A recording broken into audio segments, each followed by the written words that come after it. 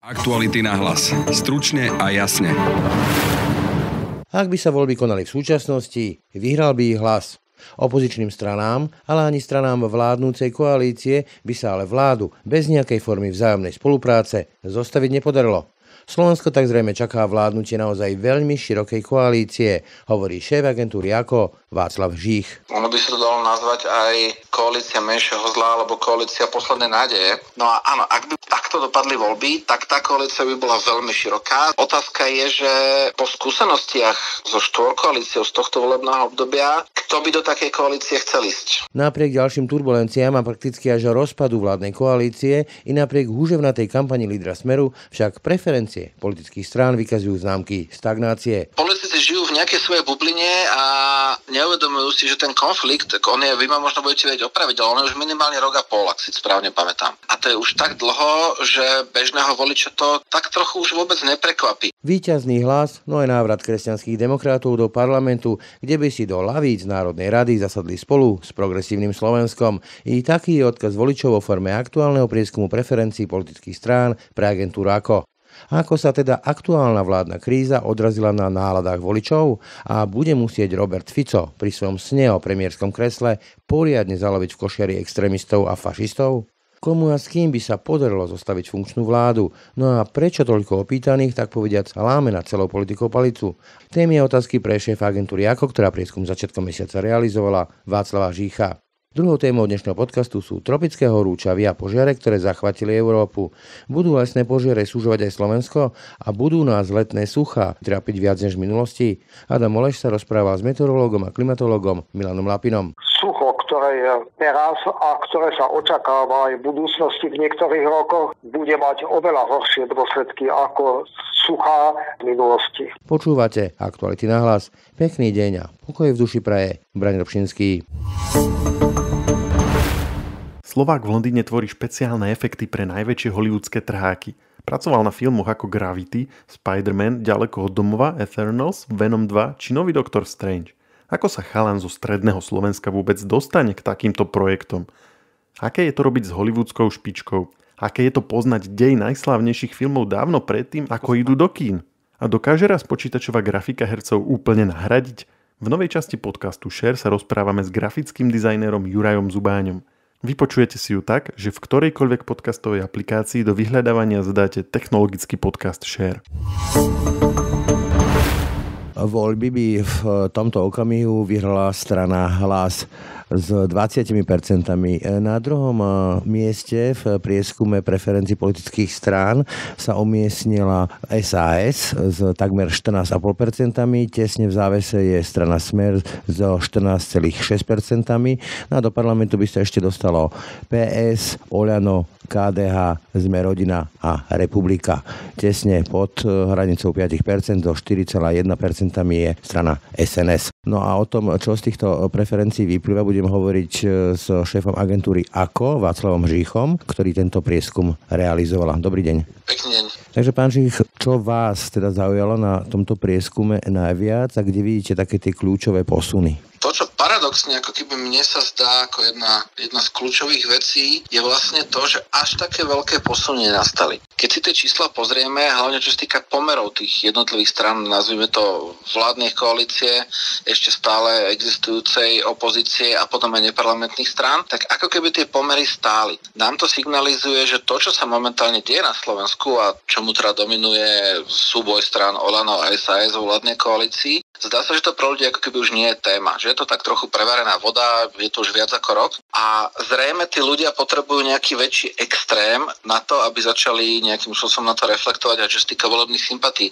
Za extrém považujem odstúpenie, vystúpenie, odvolanie, ako keby, že na toto sú už zvyknutí, čo je ale podľa mňa veľmi zle. Čiže inými slovami dá sa povedať, že politici ako keby žili v takej virtuálnej bubline. Áno, politici žijú v nejakej svojej bubline a neuvedomujú si, že ten konflikt, on je, vy ma možno budete vedieť opraviť, ale on je už minimálne rok a pol, ak si správne pamätám. A to je už tak dlho, že bežného voliča to tak trochu už vôbec neprekvapí. Ono aj ten spôsob komunikácie je už tak vyhrotený, a nemyslím tým len medzi stranami vládnej koalície, ale napríklad aj pri bežných rokovaniach parlamentu, že naozaj ako keby už to nikoho nezaujme, tak by som to až povedal. Ja by som len doplnil, že aj e, ten štýl vyjadrovania, napríklad Igor Matovič alebo ďalší, aby sme nestali len u neho, je tiež už vašimi slovami prevarený, nič nové, že ako by sme si na to zvykli. Zvykli, ale má to aj ďalší, podľa mňa veľmi negatívny efekt vo všeobecnosti, keď niekedy človek počúva tie dlhé hodiny diskusí v parlamente a počúva, akým spôsobom medzi sebou napríklad hovoria jednotliví poslanci. A teraz e, prierezom sa všetky strany alebo zaradených, nezaradených, ktorí tam sú, tak e, tá laťka ako keby ide stále dolu a dolu. A predsa v histórii to vždy tak bolo, že to by mali byť naše vzory, tí najlepší z najlepších. A ono sa to podľa mňa, čo je to negatívum, o ktorom chcem povedať, prenáša čoraz viac aj do bežnej komunikácie ľudí. Občas sa niekto diví, že ako to, že je to na tých sociálnych tak medzi tými diskutujúcimi také kruté, ale ja si myslím, že to je len projekcia toho, čo vidia vlastne na vrchole tejto pyramidy, tak ako komunikujú medzi sebou politici. Oni sa vlastne tí ľudia len prispôsobujú a znižujú tú latku tiež. Žiaľ. Opäť len doplním, že nielen na Facebooku, ale človek sa s tým stretne už aj v MHD a v ďalších reálnych priestoroch života. Ale tento prieskum sa robil teda v dňoch od 7. do 14. júla a mal by zachytiť vlastne už aj taký ten kľúčový krok, ktorý je v tom, čo ohlásila SAS, teda ukončenie koaličnej zmluvy a tým pádom vystúpenie z koalície, ale na tých preferenciách ako by to nejak nebolo veľmi vidieť. Olano mierne posilnilo a SAS e, atakuje tú druhú priečku. Áno, SAS a Smer sa ako keby so železnou pravidelnosťou predbiehajú na tom druhom a treťom mieste už dlhodobo. Možno ten efekt, že SAS o nejaké 4 desatiny a to o nejakých 70, možno je to efekt toho, že boli ako keby na informačnom výsloni. Predsa len nehovorilo sa o ničom inom tých niekoľko dní, len o nich a to im možno trochu pomohlo, ale my realisti, ktorí sa snažíme veci stiahovať nohami na zem, je to všetko stále v intencii intervalu spolahlivosti. To znamená, k tým posunom vôbec nemuselo dojsť nie je tam nejaké také veľké, že wow, že teraz niekto poskočil hore alebo dolu. Samozrejme, je to taká trošku prognostika, čo sa teraz spýtam, ale veľa sa o tom hovorí, že SAS vlastne vystupuje z tej koalície aj z toho dôvodu, že sa obáva straty preferencií alebo poklesu preferencií, keď e, dorazia tie následky vysokej inflácie a ďalších tých negatívnych ekonomických faktov na jeseň a tým pádom ako by si umývala ruky nad vládou. Je toto reálna úvaha podľa vás, ako človeka, ktorý sa venuje preferenciám? No, keď sa dá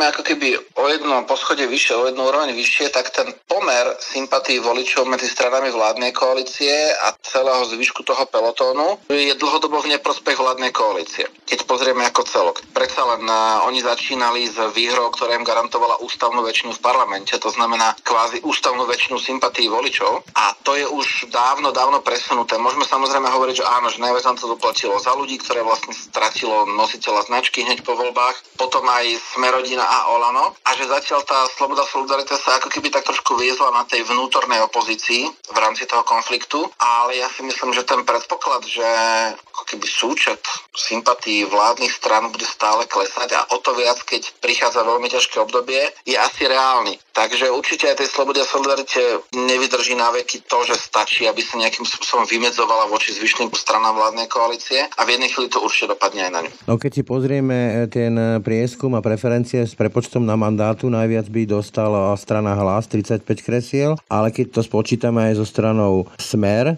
ktorý získal 25 mandátov, je to 60 a ani zo Smerodina by nemali dostatok hlasov, len 70 hlasov. Na druhej strane, keď si spočítame mandáty súčasných stran vládnej koalície, tiež to nestačí. Dá sa povedať teda, že tu hrozí, v úvodovkách hrozí nejaká široká koalícia, taká, čo Vašečka, Michal Vašečka, sociológ nazval takouto veľmi ušpinenou, naozaj širokospektrálnou pravo ľavou opozičnou koaličnou koalíciou, inak sa to nevyskladá? Ono by sa to dalo nazvať aj koalícia menšieho zla alebo koalícia poslednej nádeje. Tých názvov tam môže byť veľa a áno, ono je totiž to taký jav, ktorý nie je úplne bežný, ako stal sa, ale nie je to úplne bežné. Tie sympatie sú momentálne rozdelené tak, že neparlamentné strany, to znamená Progresívne Slovensko a Kresťansko-demokratské hnutie, majú dokopy, ak to správne obrátam, ak by boli voľby teda minulý týždeň, by mali 29 hlasov. To znamená, povedzme, že petinu parlamentu. Skočím do rečí PSK 17 a KDH 12. 12, presne tak, to znamená 29. A to je viac menej petina. To znamená, aj tá možnosť e,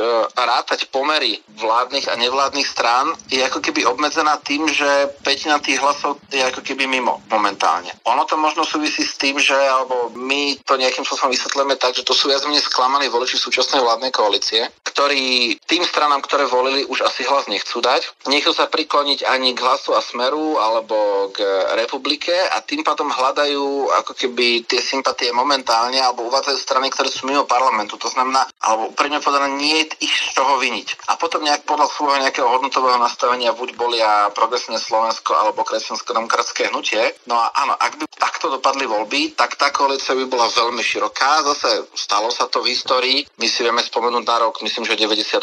Ale otázka je, že po skúsenostiach so štvorkoalíciou z tohto volebného obdobia, kto by do takej koalície chcel ísť? To je veľká otázka. Podľa mňa tá snaha tých strán bude v prvom rade, a teraz ja si myslím, že až dokonca bez ohľadu na nejakú profiláciu tých strán, proste nájsť čo najúžšiu koalíciu. No keď si pozrieme na preferencie Olano, tak to je 9,2%.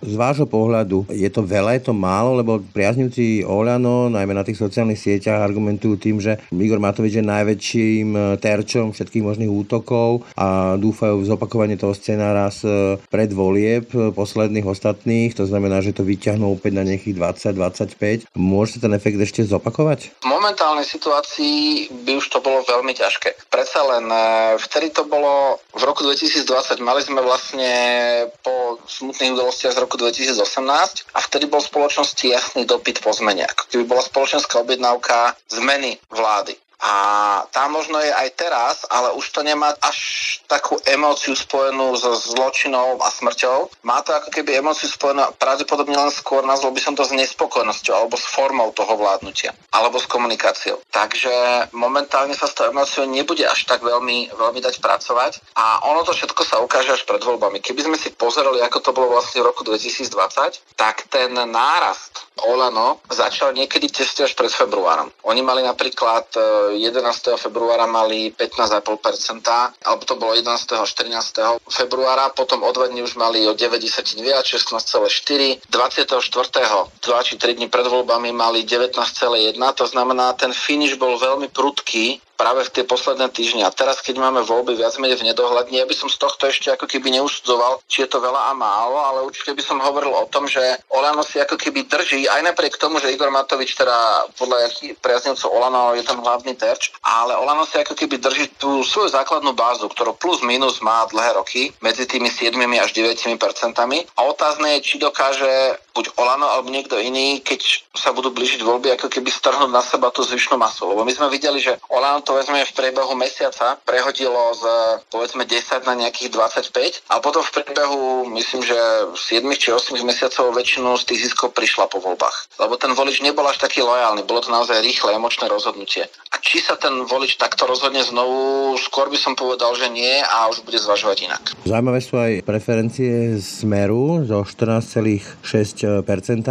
Tie veľmi nerastú ani neklesajú už dlhšie obdobie. Napriek tomu, že Robert Fico sa neuveriteľne politicky činí, to prakticky nie je dňa bez tlačovky Roberta Fica, ale stále sa nevie dotiahnuť na stranu hlas, ktorá v podstate, alebo Peter Pellegrini, nič nerobí. Nie je to nejaký fenomén, ktorý by ovládal verejnú diskusiu. Ako to, toto vyhodnotíte? Asi sa zhodneme na tom, že Robertovi Ficovi sa ako keby podarilo skriesiť ten smer z popola ako takého Fénixa, keď začal komunikovať tým, koľko to bolo 6, 6 mesiacov po voľbách, po tej prestávke a získať veľkú časť tých stratených čísel, ale netreba zabúdať, že momentálne máme toho pôvodného voliča Smeru už rozdeleného. Že ten súboj nie je vlastne len o tom, že Smer, aby ich získal späť, ale ten súboj bol z počiatku Smer hlas. Videli sme, že keď začal Smer, teda na s Robertom Ficom komunikovať, tak ako keby stiahli čísla hlasu, ale potom, keď sa aj Smer začal trošku inak profilovať komunikačne cieľovou skupinou ako hlas, tak ja si myslím, že sa to rozdelilo, že oni si ako keby rozdelili ten pôvodný elektorát a ten tok navzájom medzi týmito dvomi stranami už bude oveľa ťažší, lebo predsa len vidíme, že Robert Fico volí ako keby dôraznejšiu komunikáciu, trošku extrémnejšie témy, zatiaľ čo hlas sa spolieha skôr na taký ako keby soft spôsob komunikácie až nekomunikácie, ako ste to správne povedali. Taký alibizmus akoby. Áno. A ja si myslím, že teraz už bude veľmi ťažké napríklad aj prehlas brať voličov smeru, takisto ako pre smer brať voličov hlasu. A možno práve smer sa teraz rozliada trošku aj medzi inými stranami, kde by ešte mohol získať percentá. A samozrejme, kde je to ťažšie, vidíme, že vlastne súboj o zvyšky popularity LSNS. To sa práve chcem spýtať, že ako hodnotíte vývoj na tejto scéne, Republika 5,5%, takmer 9 mandátov, čiže preliezli by do parlamentu aktuálne. Je to veľa, je to málo. Ja si ešte spomínam, že napríklad PS sa profiloval pred ostatnými voľbami na téme fašizácie Slovenska a hrozby fašizácie Slovenska. Ono je to stále, stále celkom dosť, ale zrátajme si čísla. SNS majú 1,5, Republika 5,4, to znamená takmer 7%. Ono je to stále, stále na nejakom, vo voľbách boli myslím, že 8, ak si správne pamätám, Kotlebovci SNS. No. To znamená, je to ako keby stále na tom istom počte, ktorý si len delia medzi sebou. Lesena sa relatívne úplne prestalo komunikovať, súvisí to vlastne aj s tým, že líder strany už nie je v parlamente. Republika pravdepodobne komunikuje hlavne na sociálnych sieťach a ako keby cez veľké médiá sa príliš nevyjadrujú. Takže oni si ako keby potiahli ten ten typ voliča, ktorý pôvodne bol v SNS a dokázali ho cez tie rôzne druhy sociálnych sietí k sebe stiahnuť, ale zdá sa, že nelákajú nových. A oni sú určite ohrození napríklad aj smerom, ktorý má už trošku dôraznejšiu tú retoriku a možno časom si časť tých voličov povie, že fúha, že tak uvidíme republika alebo silnejší smer. Čiže to, to sa oblokov vracem k tomu, čo sme hovorili predtým. Znamená to, že Robert Fico sa povedzme pokúsi atakovať e, tú prvú priečku preferenčnú vykradaním voličov SNS a republiky? Ja si myslím, že z jeho pohľadu by to bol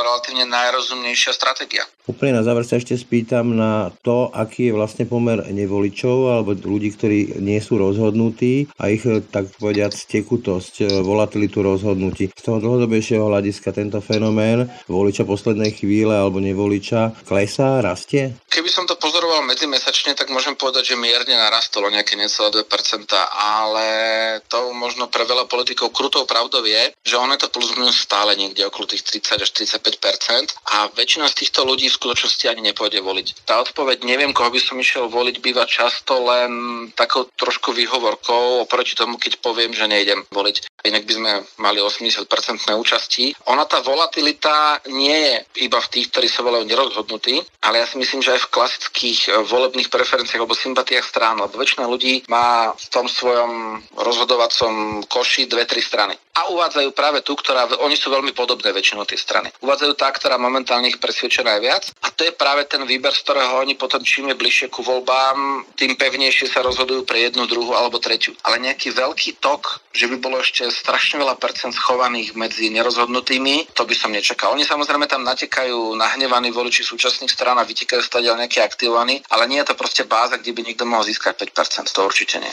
Toľko Václav Žich a agentúra Ako. Ďakujem za rozhovor. Ďakujem, pekný deň. Juh Európy trápia lesné požiare. Hasiči bojujú s ohňom v Španielsku, Grécku a Francúzsku. Tropické horúčavy prídu tento týždeň aj na Slovensko. Aj o týchto témach sa budem rozprávať s meteorológom a klimatológom Milanom Lapinom. Dobrý deň. Dobrý deň. Spomínal som požiare, ktoré trápia aj juh Európy, ale aj zvýšené teploty, ktoré hlásia krajiny v Európe. Vidíme teraz na vlastné oči dôsledky klimatickej zmeny? Tak na začiatok by som povedal asi toľko, že v južnej časti Európy okolo Stredomoria každoročne bývajú o tomto čase horúčavý a každoročne býva aj suché počasie, pretože klimatický režim Stredomoria alebo južnej časti Európy je taký, že tam padajú zážky od októbra do apríla, v severnejších častiach od septembra do mája a v lete, v júni, júli augusti padá veľmi málo zrážok a je tam slnečno a teplo. Takže nie je to nič neobvyklé. Každý rok býva tam takáto situácia. Tento rok je ale špecifický. A špecifický je v tom, že v zime padalo veľmi málo zrážok, predovšetkým v západnej polovici Stredomoria a veľmi málo zrážok bolo aj v máji a v júni až do teraz, pričom bolo aj veľmi teplo na niektorých miestach alebo vo väčšine, väčšej časti západného Stredomoria a juhozápadnej Európy bola v júni teplota až o 4 stupne Celzia vyššia ako dlhodobý priemer. To znamená, že zimné zásoby vlahy sa rýchle vyčerpali a už v apríli sa tam zaznamenalo závažné sucho, ktoré sa potom stupňovalo v máji a v júni, keď bolo veľmi horúco. Čiže z tohto pohľadu ide o špecifickú situáciu, pretože horúce a suché počasie a lesné požiare začali o niekoľko týždňov skôr ako v minulých rokoch. Budeme si musieť zvyknúť ako Európania, že každé leto nám bude horieť nejaká časť územia? E, nedá sa to takto tvrdiť. Klimatická zmena alebo klíma nie je taká lineárna klíma je premenlivá, to znamená, že jeden rok je to trošku chladnejšie, jeden rok trochu teplejšie, jeden rok padá viac, iný rok menej zrážok v tomto období, ale všeobecne môžeme tvrdiť, že postupuje alebo budeme sledovať trend zvyšovania teploty, zvyšovania priemernej teploty. Už teraz máme teplotu priemernú teplotu vyššiu o 2 stupne Celzia porovnaní s tým, akú sme aj tu, aj v Stredomorí mali pred rokom 1981 a do konca tohto storočia sa očakáva, že sa zvýši o ďalšie 2 až 4 stupne Celzia, pričom zrážky nepribudnú, čiže nebude ich viacej. Nebude ich viacej predovšetkým v letnom období. Toto všetko dohromady znamená, že tieto krajiny, ale aj celá stredná Európa bude častejšie postihovaná suchom a to predovšetkým v tej južnej časti, predovšetkým na nížinách. A to sucho môže mať v niektorých rokoch katastrofálne dôsledky, oveľa horšie, ako bývalo v minulosti. Určite si pamätajú starší ľudia, že v roku 1947 sme mali významné sucho, potom bolo významné sucho aj v ďalších rokoch, ale sucho, ktoré je teraz a ktoré sa očakáva aj v budúcnosti v niektorých rokoch, bude mať oveľa horšie dôsledky ako suchá, teda z minulosti. Je vôbec možné sa na to nejak pripraviť? Pripraviť sa na klimatickú zmenu, tomu hovoríme adaptačné opatrenia. Samozrejme, že je možné sa na to pripraviť. Ako som už hovoril, v Stredomorí a v južnej polovici Európy padá veľa zrážok v zime. To znamená, treba zadržať zimné zrážky, najlepšie v nejakých nádržiach, ktorých sa potom dá, z ktorých sa potom dá čerpať v období sucha. Majú takéto nádrže vo Francúzsku, v Španielsku, v Taliansku, v Grécku, aj v iných ostatných krajinách v Stredomorí, pretože inak by sa tam nedalo prevádzkovať, alebo inak by sa nedalo úspešne robiť polnohospodárstvo. Túto vodu na zavlaženie oni využívajú na produkciu potravín, na produkciu polnohospodárských produktov, ktoré potom zavčasu na jar vyvážajú aj k nám do strednej Európy alebo do celej Európy. Budeme mať podobné problémy s požiarmi aj na Slovensku budúcnosti, alebo nás čakajú iné problémy? Nás tu na Slovensku čakajú ešte aj iné problémy, okrem toho sucha, keďže my sa nachádzame na rozhraní medzi južnou a severnou Európou, čiže sme v strede Európy. Občas sa stane, že to obdobie sucha, ktoré sa vyskytuje v južnej Európe, zasiahne aj našu oblasť. Už sme mali také prípady a niektorí si pamätajú v roku 1992 v auguste, keď celý august prakticky nepršalo a teplota bola taká ako v Stredomorí, teda na niektorých meteorologických staniciach sme mali priemer teploty o 5 stupňov vyšší, ako je dlhodobý priemer. Čiže takéto epizódy sa u nás môžu vyskytovať. V roku 2003 sme mali dokonca 4 mesiace malé úhrny zrážok a vysokú teplotu v lete. Toto sa sporadicky môže vyskytnúť aj v budúcnosti a bude sa to zrejme aj zosilňovať. Na druhej strane občas sa môže stať, že v lete pri vysokej teplote sa k nám dostane nejaká cyklóna z, od západu, od Atlantického oceánu, pri ktorej spadnú veľmi vysoké úrovne zrážok, pretože čím je vyššia teplota, tak tým vyššie úrovne zrážok môžu spadnúť. V podstate za cyklonálnej situácie ak je teplota o 1 stupeň vyššia, tak môže spadnúť až o 10 viac zrážok. Čiže tie katastrofálne zrážky letné alebo v teplom polroku môžu mať v budúcnosti veľmi negatívne dôsledky. Na ne nie sme pripravení. Protipovodňovú prípravu alebo protipovodňové opatrenia ani u nás, ani v Čechách, ani v okolitých krajinách nemáme na takej úrovni, aby sme sa vedeli vysporiadať s takými veľmi intenzívnymi zrážkami. Ukážku takýchto zrážok sme mali v roku 2002 v Čechách, keď vytopilo pražské meto, alebo v roku 2010 u nás, keď sme mali doteraz rekordné úhrny zrážok od začiatku pozorovaní. Čiže našu oblasť bude postihovať sporadicky sucho, Možno každý rok nejaká epizóda sucha bude, ale niektoré roky bude katastrofálne, ako napríklad v tomto roku. Ale v niektorých rokoch sa môže stať, že sem zablúdi cyklóna, Atlantického oceánu pritiahne teplý a vlhký vzduch od juhu alebo od teplejších častí Atlantického oceánu a spadnú tu obrovské množstvo zrážok. Na Slovensku sa tento týždeň očakávajú vysoké teploty, rovnako aj Británia hlási tropické horúčavy. Na následky horúčav zomrelo minulý štvrtok v Portugalsku 440 osôb. Ako sa máme na následujúce dni chrániť pred týmito vysokými teplotami? S vysokými teplotami samozrejme v posledných rokoch majú skúsenosti rôzne krajiny v celej Európe. Pamätáme si veľmi dobre rok 2003-2007, keď bol veľký počet úmrtí aj v Južnej Európe, Juhozápadnej Európe, vo Francúzsku a tak ďalej. Ochrana je taká, že kritické osoby, to znamená starší nemocní ľudia, by sa nemali vystavovať slnečnému žiareniu, mali by vyhľadávať také priestory, ktoré sú chladnejšie a predovšetkým piť veľa vody, veľa tekutín, pretože to pomáha prežiť pri vysokej teplote. Rovnako dôležité je chrániť aj malé deti, veľmi malé deti, tehotné ženy a niektorí zdravotne postihnutých ľudí, to už oni dobre vedia. Na to sú dobré výstrahy, ktoré dáva aj hydrometeorologický ústav prvého, druhého alebo tretieho stupňa. Treba ich rešpektovať a predovšetkým chrániť sa miest, kde je vysoká teplota a piť veľa vody. Ďakujem za rozhovor meteorológovi a klimatológovi Milanovi Lapinovi a prajem pekný deň. Ďakujem aj dovidenia. Tak to boli dnešné aktuality na hlas. Pekný zvyšok dňa a pokoj v duši praje. Brane Dobšinský. Aktuality na hlas. Stručne a jasne.